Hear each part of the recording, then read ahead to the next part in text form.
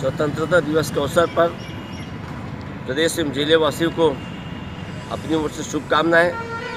15 अगस्त, हम उन वीर शहीदों को याद करते हैं जिन्होंने सचमुच में इस देश के लिए, इस मिट्टी के लिए अपने आप को निछाड़ के दिए।